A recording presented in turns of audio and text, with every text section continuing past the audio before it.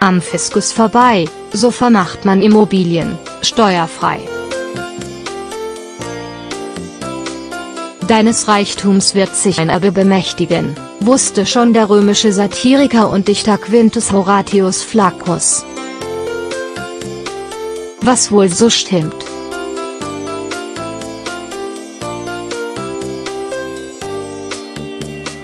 Ein deutsches Sprichwort besagt, der Erbentränen sind ein verdecktes Lächeln, was an dieser Stelle nicht bewertet werden soll. So oder so, hierzulande werden Jahr für Jahr gigantische Vermögen vererbt. Darunter auch viele Häuser, Wohnungen und Grundstücke.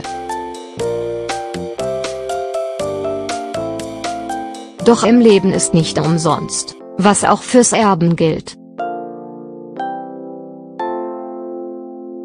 Doch glücklicherweise gibt es Freibeträge, welche Begünstigte im Erbfall vor steuerlicher Belastung schützen können, wie Finanztest in seiner neuesten Ausgabe erklärt. Ungeachtet dessen, ob es sich um Betongold oder sonstiges Vermögen handelt. So können Ehepartner bis zu 500.000 Euro steuerfrei erben, bei Kindern sind es 400.000 Euro minus von jedem Elternteil. Großeltern können ihren Enkelkindern 200.000 Euro vermachen, ohne dass der Fiskus zuschlägt. Auch für Geschwister, Nichten, Neffen und Lebensgefährten gibt es einen steuerlichen Freibetrag, er liegt allerdings nur bei 20.000 Euro. Grundsätzlich gilt, der Steuerfreibetrag ist umso höher, je enger die verwandtschaftliche Beziehung ist. Nur Geschwister machen hier eine Ausnahme.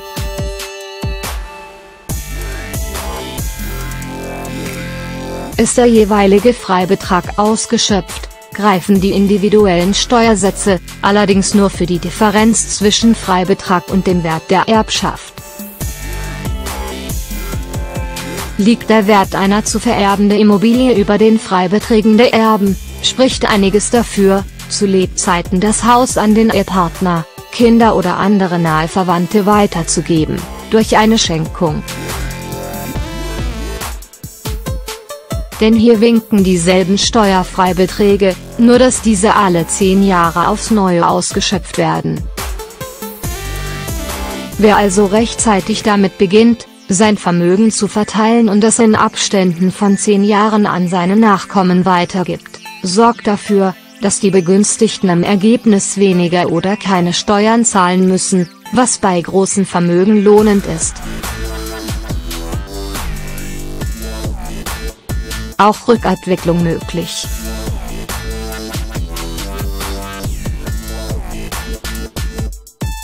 Natürlich fällt es nicht jedem leicht, die eigene Immobilie schon zu Lebzeiten aus der Hand zu geben. Denn ab der Eintragung ins Grundbuch ist der Schenker nicht mehr Herr im Haus, was Risiken birgt. Schenker können ihr Häuschen dann weder verkaufen noch als Kreditsicherung nutzen. Wer in seiner Immobilie dennoch wohnen bleiben möchte, sollte sich deshalb unbedingt ein sogenanntes Niesbrauchrecht sichern.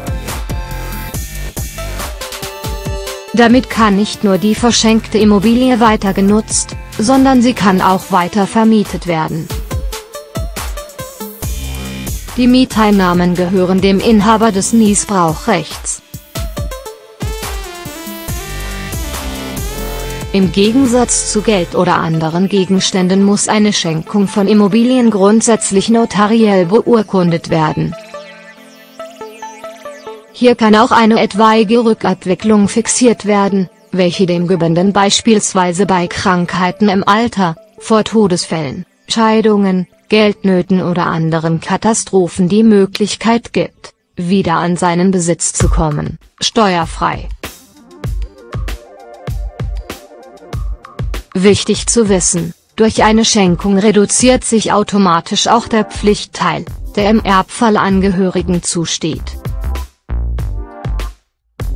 außer wenn diese in den letzten zehn Jahren vor dem Tod des Schenkers veranlasst wurden, dann werden sie zum Nachlass gezählt und erhöhen den Pflichtteilsanspruch.